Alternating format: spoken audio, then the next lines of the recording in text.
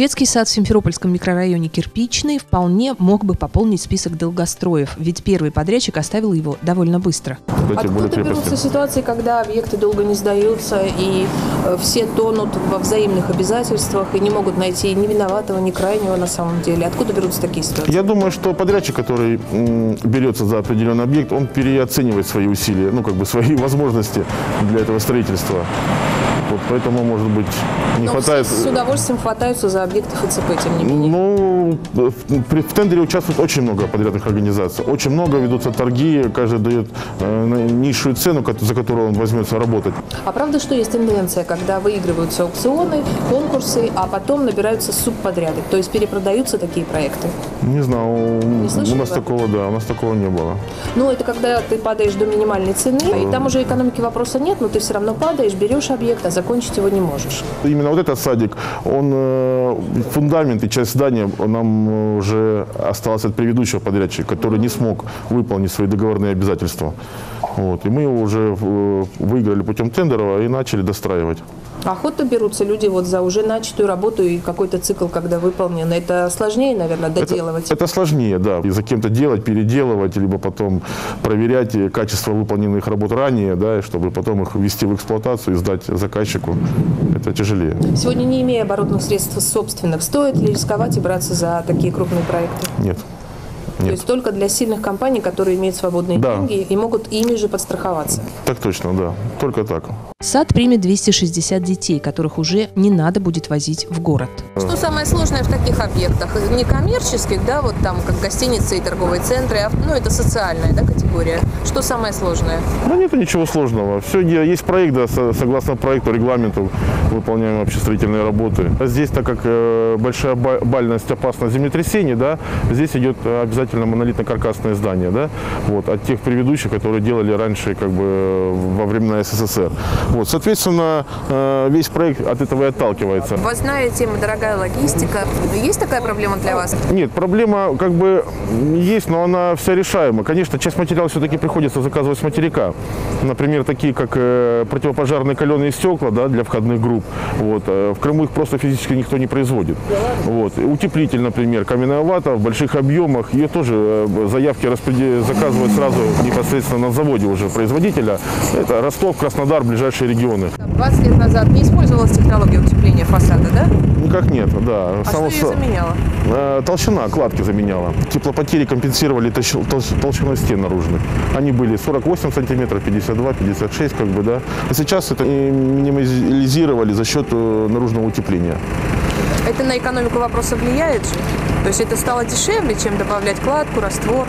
Конечно, это дешевле, это быстрее, это надежнее. Да, наверное, вы заметили, что большинство объектов, таких как школы и детсады, строятся именно из газобетона. Это разновидность ячеистого бетона, весь он пронизан порами, которые друг с другом не сообщаются. Как правило, это цемент, кварцевый песок и специальные газообразователи, которые отвечают за пористую структуру. Он быстрый, удобный, э, геометрия хорошая, легкий материал.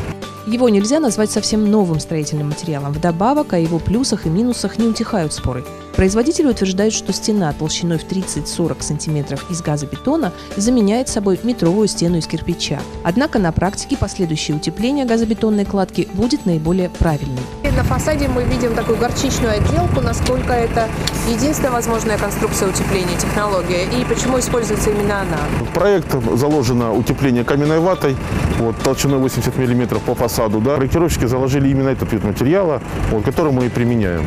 Вот, она в дальнейшем будет оштукатуриваться, выкрашиваться в яркие э, тона. Кто у вас работает? У нас всегда есть э, свой состав людей, которые выполняют определенные виды работ. На э, специализированные работы у нас всегда сопровождает подрядчик.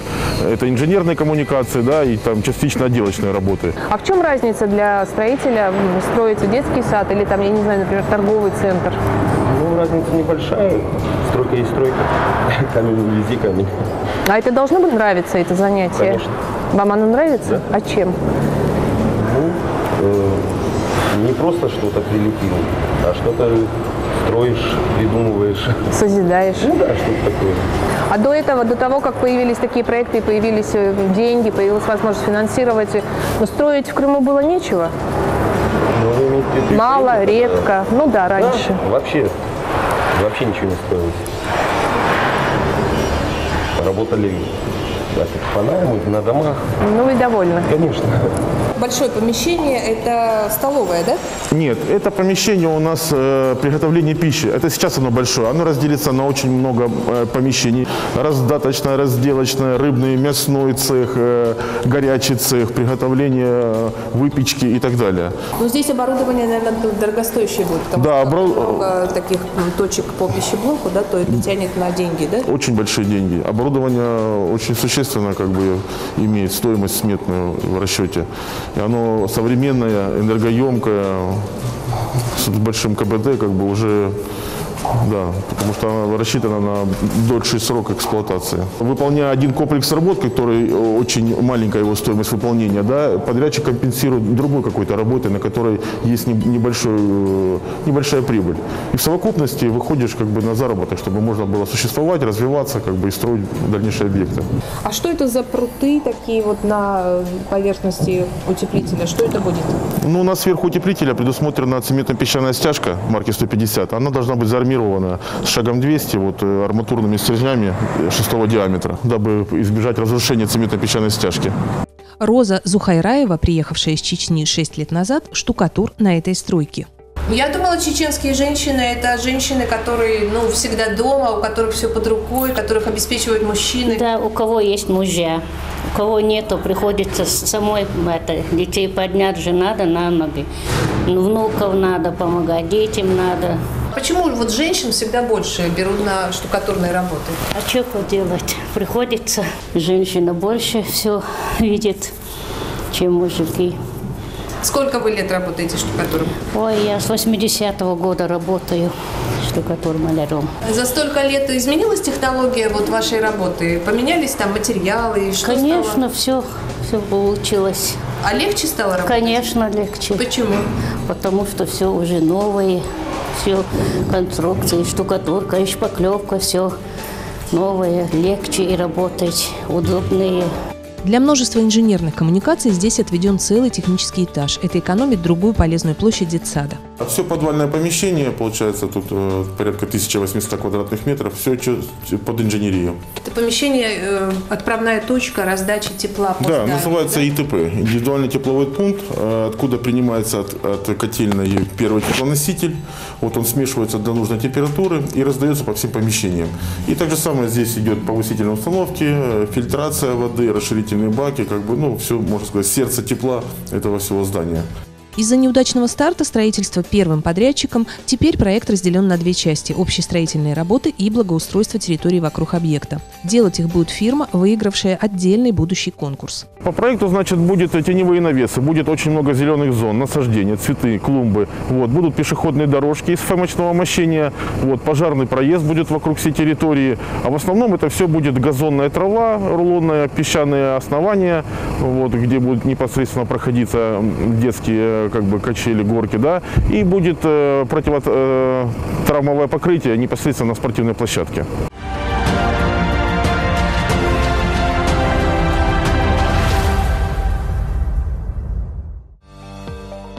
Этому детскому саду в Симферополе в районе кирпичного завода крупно повезло в том, что второй производитель работ вовремя подхватил неудачно начатый объект и стройка не остановилась. В прошлой программе мы рассказывали о более грустном варианте развития событий. Дети из села Зеленогорское Белогорского района вынуждены уже второй год ежедневно проезжать почти 40 километров по разбитой и пыльной дороге вдоль карьера, чтобы добраться до школы в соседнем селе, только потому, что недобросовестный подрядчик опоздал со сроками сдачи их собственной школы и допустил необоснованные и вовремя не заактированные отступления от проекта. Да и сам проект был далек от совершенства. И вот перед нами еще один вариант тихой стройки, точнее притихшей. Школа в селе Заречное в Добровской долине. Первый раз мы снимали ее в ноябре прошлого года. Она выглядела бойкой, многолюдной, оптимистичной. Падение выручки в окрестных продуктовых магазинах продавцы ощутили уже в середине лета. Рабочих на стройке становилось все меньше и меньше. В службе капитального строительства так поставили вопрос перед генеральным подрядчиком фирмой из Санкт-Петербурга.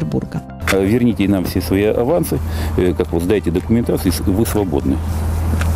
А вы что, стоите и никуда не уходите? А мы никуда не, не уходим. Ну, это- И не уйдете? ну а как не, не уйти? Ну уже 90% выполненных работ уже по каркасу, это уже мы полностью каркас, мы стадию кар- каркас закрыли.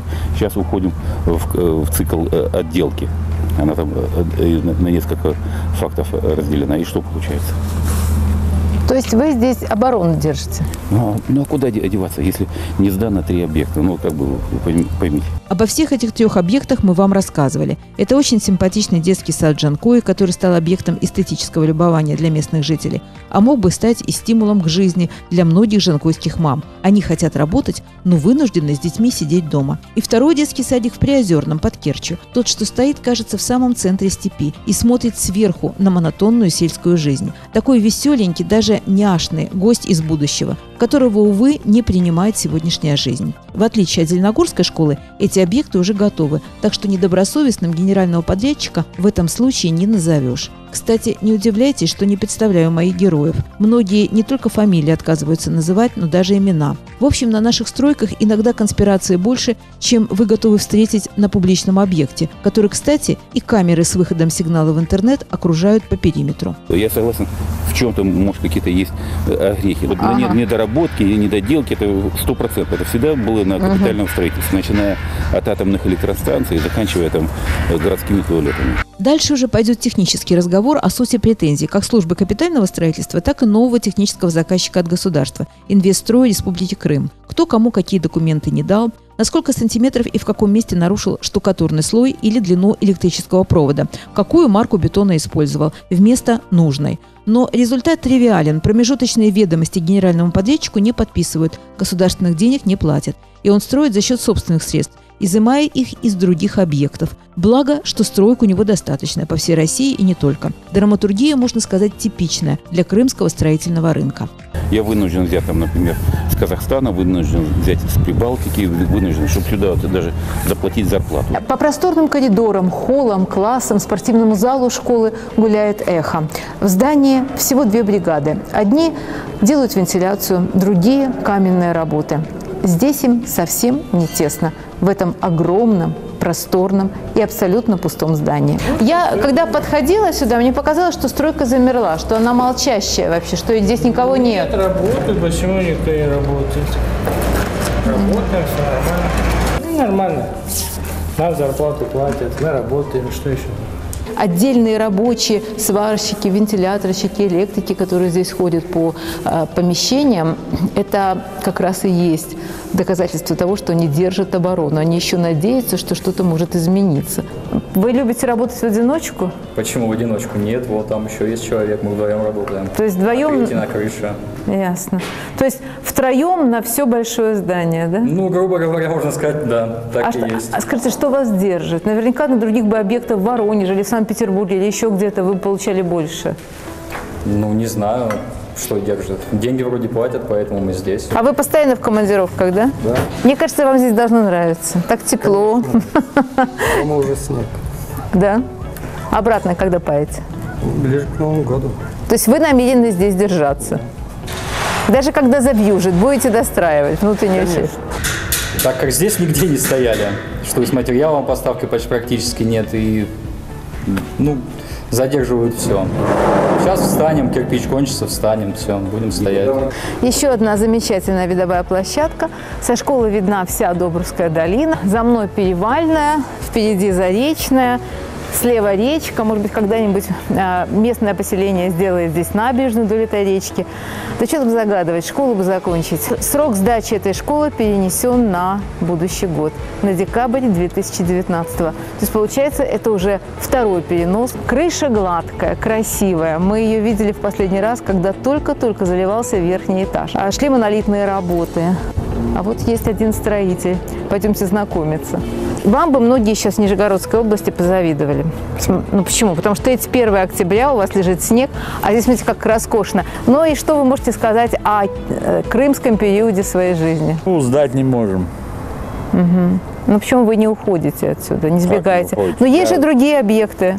Зачем? То есть, Я всегда до конца. ясно. Надо доделать. Детям надо куда-то ходить. Ну да. Сергей Лобанов проработал с самого фундамента на строительстве детского сада в Приозерном. Уехал после того, как забетонировал край клумб. Как он выражается, отлил газон. В общем, завершил благоустройство. Конечно, его сердце еще там, в далеком крымском селе, где детей, как ни странно, очень много, и садик все ждут. Слушайте, вам, вам здесь загорать можно на стройке. Мы чем занимаемся? А Как вы будете вспоминать этот крымский период? С огорчением? Не, нормально, нормально все будет. Вспоминать хорошо. Просто судьба такая, Море, да? да. А проектировщик был ваш? Нет. Проектировщик был, это как его, он взял типовое здание, соединил кое-чего, урезал. А кто проектировал? Проектировала какая-то казанская подрядная фирма, которая сразу отказалась от авторских. Они продали этот проект, деньги получили и быстренько ушли в тень. Надо его завершить. Ну как бросить? Ну даже вот сейчас мы это покрытие. Если я сейчас вторым слоем не, не укрою это покрытие, значит за- зиму оно, я должен Да, да, заново да. это все перекрыть. А вы успеете это сделать до января? Будем стараться. Вот приедете в январе, посмотрим. А Это как будет? Вы будете стоять, денег не будет, бюджета на этот год еще не будет? частично- будем готовы к встрече зи- зимы. Частично. И обогревать же ее будете внутри? Обязательно надо ее обогревать. Пустую школу обогревать всю Ну, зиму. Мы уже штукатурку нанесли. За свой счет. Ну да. А зачем? С этой крыши хорошо наблюдать восходы и закаты, но окончания работы еще не видно. И дай бог, чтобы строители успели до начала продолжительных холодных дождей, до снега, до холодов покрыть эту поверхность вторым слоем рубероида. Иначе влага проникнет э, на этажи, где уже есть штукатурка, и испортит все, что было сделано за лето и весну. Знаете, весной и летом здесь были совсем другие шумы. Школа звенела, рычала, стучала, визжала, издавала звуки многими строительными инструментами и машинами. А сейчас она притихла, немножечко стучит, немножечко звенит, как будто бы урчит и шепчет «Не хочу в зиму, не хочу». За строительством школы внимательно наблюдают местные жители. Например, Игорь Юров и его сын Георгий. Врач-невролог из Мариуполя построил на этой горе дом. Кто владеет Крымом, тот владеет миром. Сначала Юровы соревновались в темпах строительства с этим объектом. Потом просто мечтали, какой будет школа. Светлое, теплое, новое, новое, новое оснащение. Хорошее, правильно говоришь. И даже основание для спортивного зала, вынесенного за рамки главного трехэтажного корпуса, настраивало их на определенные планы. А какие секции ты хочешь? Ну, тэквондо, карате, бокс.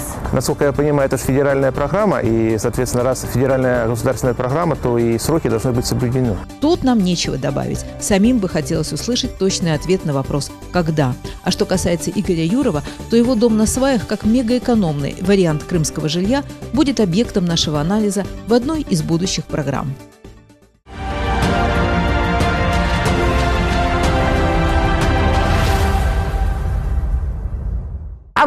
Живете в Андросово, да? А- а просто случайно оказались? Я в интернат приехала. А у вас ребенок там или кто? Ну, ребенка оформляю туда. Здесь бы, кстати, был надземный переход. Наверное, да. Потому что вот так вот переходить улицу очень опасно. Я боюсь, например. Лично я боюсь. Вот. А если был бы переход, было бы очень хорошо. Мы с вами возле села Андрусово, вот на повороте на Ферсманово, где находится знаменитая усадьба Ферсмана и э, детский интернат. Но вот здесь мы видим два участка земли, которую сначала вздыбили, разрыхлили, подняли, а потом выровняли. А здесь начал работать пневмомолот. И водители, которые часто проезжают этой трассой, наверняка видели, как это происходило. Этот пневмомолот готовил основания под будущий надземный переход. Движение здесь очень сильное, хамства на дороге много. Вы видите, как э, без остановки стоят машины. Вот я, кстати, сейчас спрошу у человека, видимо, бывалого. Здравствуйте. Вы здесь живете? Нет, я дача у меня здесь. Как вы думаете, здесь нужен был бы надземный переход? Конечно. Особенно вот здесь очень много жертв. Да? Да, вот в этом году уже несколько человек погибло. Такие э, надземные хабы должны были быть построены здесь, а потом в селе Заречное и в селе Перевальное. Но э, мы не обнаружили ни генерального подрядчика, ни его техники. Это вовсе не перенос, не перевод и не переезд техники в другое место. Представитель генерального подрядчика фирмы из Карелии э, сказал нам, что сроки сдачи объекта перенесены на следующий год и что, скорее всего, это это вообще будет совсем другой переход, потому что э, проектная документация крайне несовершенна. У генерального подрядчика самого не принимают контролирующие органы рабочую документацию. В общем, все здесь будет по-другому. Заказчик этого объекта в Лозовом-3 – служба автодорог, которая, к слову, могла бы поставить хотя бы светофор на этом участке, раз уж с надземным переходом дело не сложилось. Проект был одним из самых ранних. Его в 2015 году подготовило предприятие ООО «Дороги Крыма». Были выделены деньги по федеральной целевой программе. Долго радовались этому в Добровском сельском поселении. В 2018 году тендер на строительство выиграла одна корейская фирма. Приступила к работе и, как говорят, попала. Ну, в общем, никто не отрицает необходимость здесь надземного перехода, но его перспектива снова туманна, а отсутствие смертельно опасно. А сейчас я проведу эксперимент. Я перейду по этому переходу на ваших глазах, и мы посмотрим, как скоро остановятся машины.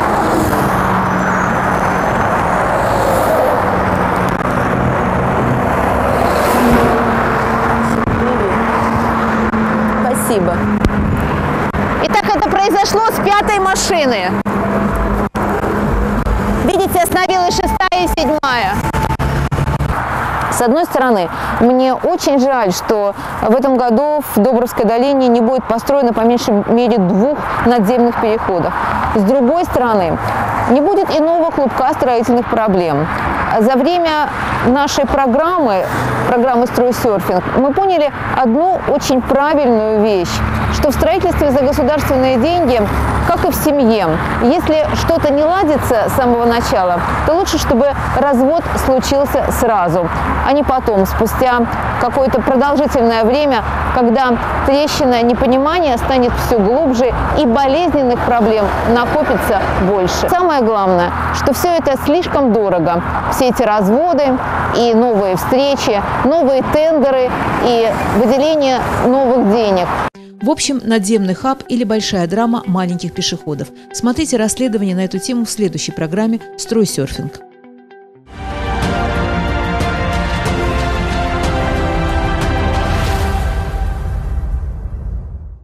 Это все, вот это зелень будет, да, здесь. Там будут люди ходить. Тут, тут очень сюжет закручен до такой степени.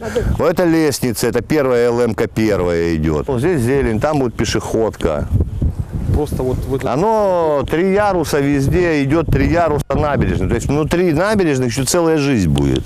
Наверное, так могли бы выглядеть экскурсии по сакским объектам ФЦП, если бы местные стройки стали туристической аттракцией. Но сегодня это выездная планерка сакских депутатов. Стройсерфинг, как навигатор, показывает не только меняющийся облик крымских городов. Ведь промышленный и строительный туризм давно популярны. Это и закрытые атомные станции, и, например, действующий мусорный завод в центре Вены. Наверное, и наши большие площадки могли бы стать доходными маршрутами. Возьмись за это продвинутые туристические операторы. А может быть, мы слишком любим стройки, и такие экскурсии нам интересны. Я часто прохожу, сам смотрю, Мгм. проезжаю на велосипеде, смотрю все эти объекты строительства, которые проводятся в нашем городе. Душа радуется, что они происходят. Ну, хотелось бы, конечно, чтобы была скорость побыстрее. Ну, такие масштабы вообще Масштабы удивительные. большие, да, действительно, для нашего города это действительно удивительные масштабы. Я думаю, что наш город превратится тоже в современный, настоящий город, в котором будет просто приятно пройтись по набережной. Среди монолитных конструкций будущей набережной вдоль лечебного озера пока сложно увидеть окончательную картинку местности, но уже сейчас понятно, она поменяет полностью курортные стандарты городской среды. убитая городская среда, э, материальные фонды, там много чего, э, то, что не соответствует сегодня курорту государственного значения. Поэтому сегодня э, все силы именно отдаются тому, чтобы среда обитания гражданина нашего, проживающего на территории, пребывающего на территории, ничем не отличалась от санаторно-курортной среды. То есть создание такого безбарьерного образа э, для пребывающего. Он приезжает в курорт, он понимает, что приезжает в курорт, от вывески, что это город Саки, от освещения дорог, благоустройства зелени, наличия тех или иных видов услуг. Вот он прибывает в курортную территорию. Все. Ливневые и канализационные очистные сооружения – сложные инженерные объекты. Увидеть их техническую эстетику еще можно во время стройки. И только позже этот механизм будет работать на чистоту и комфорт городских улиц во время непогоды. Мы местные стараемся для местного города, как сказать, для своего города сделать то, чего, можно так сказать, давно ждали. Почему? Потому что очистные для города это больная тема была. А ливневые очистные сооружения для города-курорта, которые САКи являются по статусу городом-курортом, тоже являются неотъемлемой частью. Почему? Потому что раз-два, но бывают такие дожди, что город полностью затапливает. Соответственно, за этим всем идет реконструкция улиц. Почему? Потому что строительство ливневых очистных сооружений включает в себя не только две а, площадки для приема и переработки сточных вод, а еще и линейную часть, ориентировочная 14 тысяч метров. Конечно, очень радует то, что э, столько денег выделено маленькому городу. Ну, Я, как начальник строительного управления, бывший, бывший в советское время, конечно, я понимаю грандиозность э- этих- э- этой стройки. Сколько здесь грунта, сколько бетона будет уложено, уже уложено. А я уверен, что это все построится. Конечно, привлечет очень много отдыхающих. Это увеличение бюджета. И для жителей города будет куда ребенка повезти и показать, и отдохнуть. Это очень большое дело. Если тут будет все красиво, просто люди будут говорить, что в САКах уже есть не только лечебный фактор, а есть еще и а, э, где отдохнуть, где прогуляться. Поэтому я думаю, если это будет сделано, это будет более привлекательный курорт э, для нашей страны.